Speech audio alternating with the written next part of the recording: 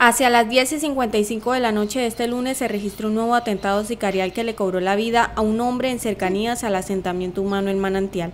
Según información preliminar, se dio a conocer que unidades de la Policía Nacional escucharon unas detonaciones de arma de fuego. Al llegar al sitio se percataron del cuerpo de un hombre que estaba tendido en la vía principal del asentamiento humano en Manantial. Según las autoridades, el cuerpo de esta persona presentaba varias heridas por arma de fuego en la cabeza. Aún no se ha establecido la identidad de este hombre. Señalan las autoridades que se realizaron labores de vecindario en el lugar y se adelantan las investigaciones pertinentes para esclarecer este nuevo hecho que rompe con la tranquilidad que se vivió por una semana en el puerto petrolero en materia de homicidios por atentados sicariales.